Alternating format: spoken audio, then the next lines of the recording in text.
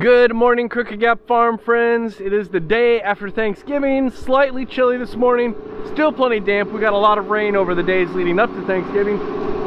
But there's a noise coming from the shed. Reverberating off the concrete. What in the world? That's right, we got an air compressor. Let me tell you a little bit about how we got this Rolair air compressor. If you've been following the channel for any amount of time, you know a couple things. One, that I have not had an air compressor, which is a very difficult and somewhat weird thing for a farm. And two, I've been looking for an air compressor. We've been selling a lot of stuff around the farm as I've been cleaning up, trying to raise money to buy things for the shop, one of which was a working air compressor. I have been shopping for air compressors. In fact, I put up a YouTube video. I'll put it up above my shoulder whichever shoulder here. And the problem that I kept running into is that I went to the big chain farm stores, I went to the local farm store that's not a chain at all, I went to the small chain farm stores. They all sell the same air compressor and it's made by the same company. It's just labeled in different colors. And I just really didn't feel comfortable buying that air compressor, especially since it was still a $400 to $450 air compressor. So I looked at brands like Quincy and things like that, which then you are getting into $600 air compressors. And to be completely honest with you, the $400 air compressor compressors seem expensive to me for something to fill up tires, and really that's about it. Understanding, oh, by the way, that that's just what you have to pay for things these days. My hope was to be able to find something used. Well, that was difficult. And so I just didn't have a lot of luck finding things used until this one showed up. This is a Rolair 5520 K17. I have no idea what that means. It's a good compressor and it was priced right. This is a $1,000 compressor new and now I have an air compressor. And it's pretty awesome because it compresses air. Honestly, it's actually not that loud either. But we don't have time today to mess around with air compressors. The sun is coming out and we've got a trip to make. Of course we've got a trip to make. We always have trips to make. Today we're going to get some more pigs from the same guy that I got pigs from at the end of October. We're gonna go get some pigs from him. This time we don't have to go as far. He's coming to visit some family and so he's bringing the pigs with him. We've got to get the green truck, hook it up to the red trailer, head down the road.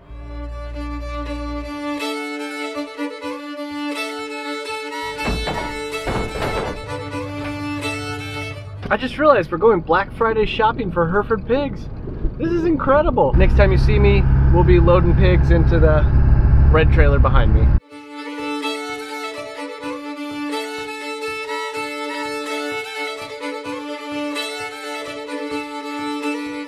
So we got nine good looking Hereford pigs back there. We picked them up. And then I thought to myself, self, we are in the Des Moines area and I'd seen these racks on Facebook Marketplace. So I just messaged the guy to see if they were available. Let me kind of show you what they are here because you know, if you've been following the channel that I'm trying to clean up the farm, lean the farm, organize the farm. And they've got these racks that they get supplies on. And my idea is to take and put maybe like a four by six skid on the bottom here. And then I can set gates inside of these. And we are back on the farm. It is crazy how these days just get away from you, especially with the short days because it is 2.30 now, which means we've got three hours of daylight left.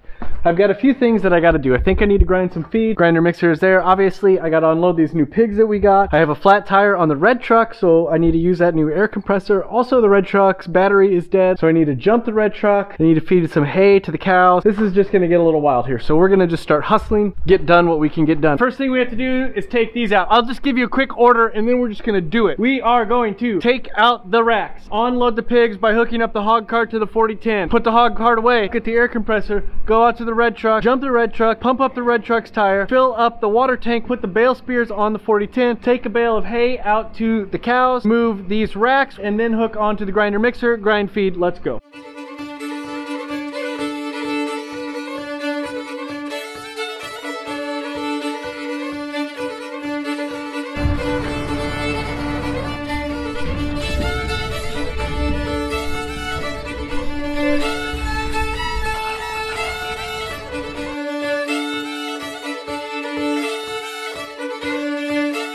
It's like Keystone Cops trying to get those pigs off of there. Oh man, pigs coming on, pigs going off, me running around, pigs getting out, catching them. The reason I was so adamant on getting a compressor like this, a horizontal compressor, is because I very rarely have a flat tire right in front of the shop. So I want to be able to take it out to the pasture where I do break down. I can easily load the compressor into the loader, take it to where I have a flat tire. In this case, out to the cattle water tank where the red truck died.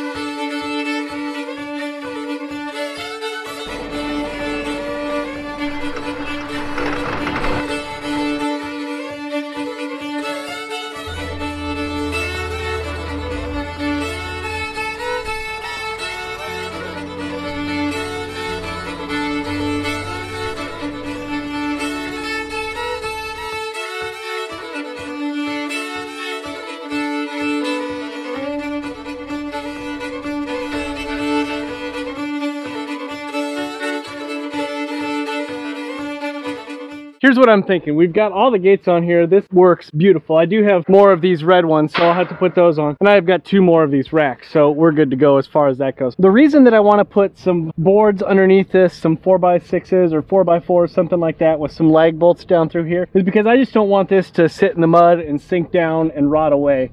With the boards underneath it, it'll keep the metal off the ground a little bit. Then if the boards rot away, no problem, I can just replace them. But this is great. I can get under it with the spear. That way I can move it around. Like if I want to go out and set something up in the pasture, or if we're going to move them from back here and set them up in the lean-to of the shed, I can just pick it up, move it around. This is awesome. I love this type of organization. I'm really getting into it. We still got a lot to do though, so giddy up.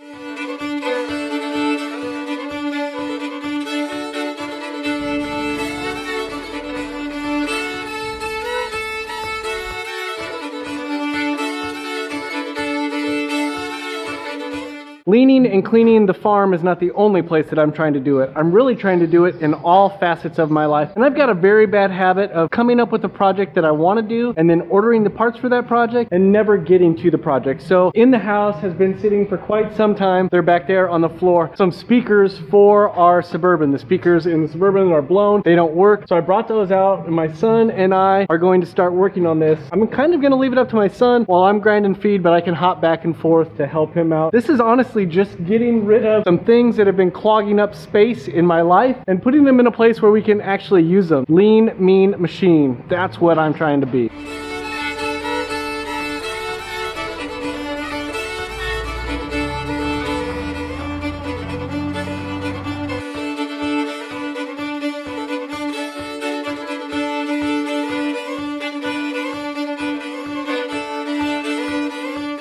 Know what I know how to do? I know how to grind feed, feed pigs. I know how to jump start the red truck and fill up tires and feed cows and water cows. All of that stuff I know how to do. I do not know how to change a speaker in a Suburban. And every video on YouTube that I'm finding is for not my Suburban. I finally found one that tells me how to get the door off. But now the speakers that I have, they're nothing like the speakers that are there. I feel like I need to get a drill out pretty soon. Oh my things I get myself into. We are gonna get these pigs fed, but I do wanna say thank you so much for coming along on the ride with me today. It was kind of a hodgepodge day, but I felt like we got some good stuff done. I'm excited about the things we got done. I'm not so excited about going back to work on that speaker, but we'll see what happens. Give the video a big thumbs up if you like it, subscribe, hit the notification bell. You know what to do. Thank you guys so much. I really, really, really appreciate you all.